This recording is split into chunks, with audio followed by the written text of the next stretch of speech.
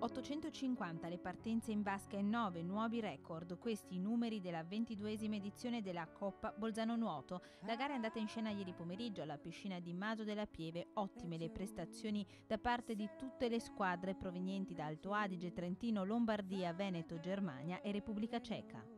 Non è certo una manifestazione di livello assoluto, così come il meeting dell'SSV ai primi di novembre, ma lo scopo, l'obiettivo è un'altra cosa, una gara più, di, diciamo, più locale, più a livello giovanile, con tanti, tante gare aperte anche ai ragazzini più giovani, desordienti B e desordienti A. In vasca anche la campionessa brissinese Laura Letrari che si prepara per la qualificazione per Londra 2012. I primi di marzo si terranno i campionati assoluti a Riccione per la prima qualifica e Laura Letrari è pronta. Siamo appena tornati da un mese in altura in Francia, sui Pirenei, dispersi nella natura e credo sia stato il collegiale più bello e fatto meglio che abbia mai fatto. Abbiamo veramente lavorato bene e fisicamente mi sento bene. Adesso stanca perché scendendo dall'altura sei un po' stanca, però insomma manca poco e mi, mi sento bene di testa, sicuramente molto bene.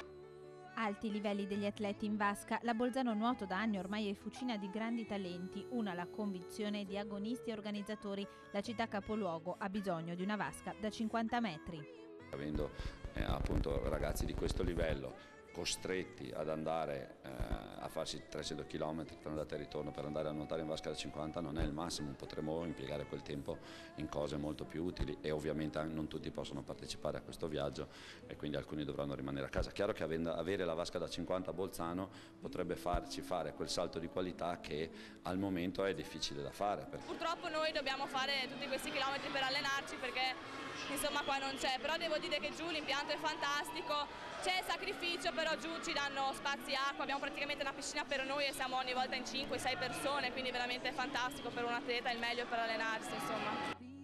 Due progetti di cui si parla da tempo, uno prevederebbe la realizzazione di una copertura della vasca Esarco del Lido, l'altro invece parla della costruzione di una piscina olimpionica nel complesso di Maso della Pieve. Tra le ipotesi era spuntata nei mesi scorsi anche quella di introdurre la realizzazione della vasca nel maxi progetto del centro sportivo provinciale di Caldaro. La speranza di agonisti e associazioni sportive è che si arrivi ad una decisione definitiva sull'agognata vasca.